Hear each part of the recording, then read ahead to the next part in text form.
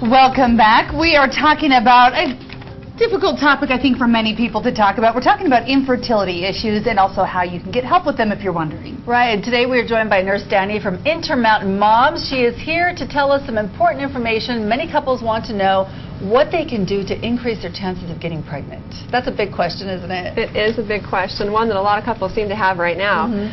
Um, there are some things you can do. The most important thing to do is track your cycles because that will help you know when you're most fertile. And there's about a six day window every month when you can get pregnant, and it's five days before ovulation and the day of ovulation. And so if you, you want to obviously time intercourse with ovulation to increase your chances of getting pregnant because when you ovulate, an egg is released that can then be fertilized by sperm.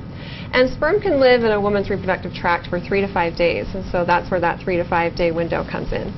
Perfect. I think a lot of people, too, when they start getting frustrated at home and stressed out, they don't know when it's time to be frustrated and go talk to a doctor, and when it's too soon, they should just maybe chillax a little and Yeah. stay at home and just try to, you know, take nature take its happens. course. Yeah. Yeah. Um, the good news is most couples get pregnant within about six months.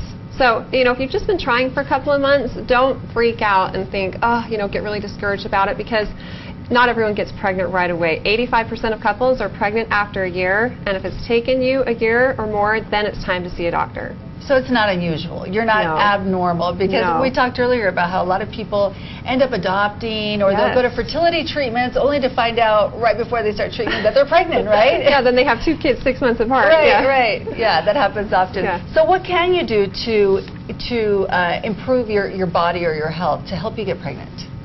Um, well, in addition to tracking your cycles, and you need to know when you're ovulating. It's- not a perfect science. Most women ovulate about um, 12 to 16 days before they're going to start their next period.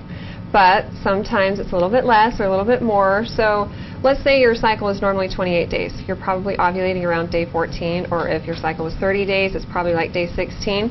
But because it's not a perfect science, there's some things you can do, like over-the-counter ovulation tests have helped a lot of people because it's kind of like a pregnancy test. If you get a mm. positive result, you're most fertile, you're in that fertile time. Mm. And so if you time intercourse with ovulation, it increases your chances of getting pregnant. It's detecting a luteinizing hormone surge that your body has.